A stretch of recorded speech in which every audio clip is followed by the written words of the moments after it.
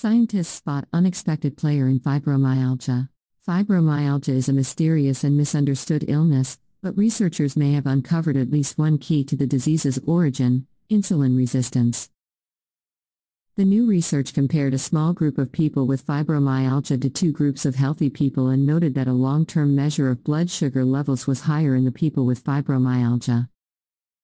Insulin resistance develops when the body starts to struggle with breaking down sugar.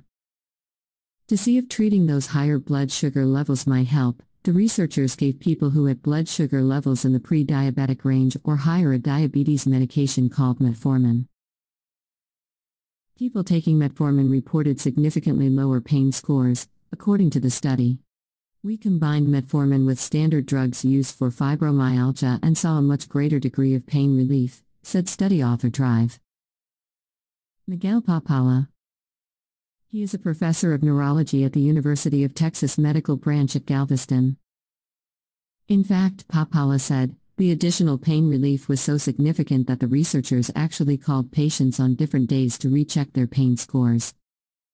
Because this is a preliminary finding, the researchers aren't sure how insulin resistance might contribute to fibromyalgia or how metformin might reduce pain.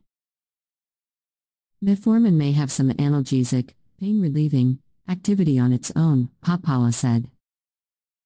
Fibromyalgia is a condition that causes widespread pain, fatigue, sleep problems, and distress, according to the U.S. Centers for Disease Control and Prevention.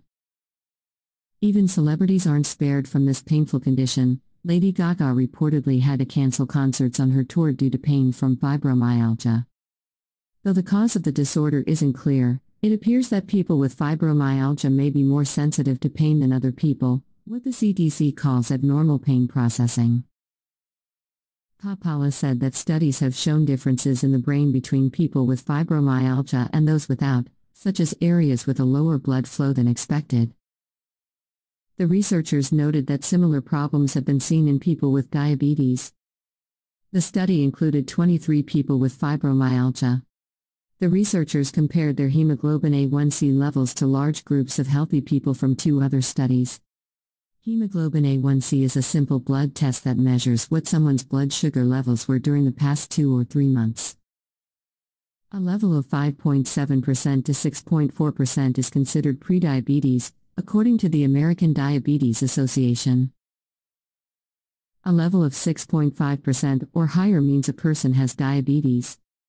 Only six of those with fibromyalgia had normal blood sugar levels. 16 had levels considered prediabetes and one met the criteria for diabetes. The findings were published online recently in the journal PLOS One.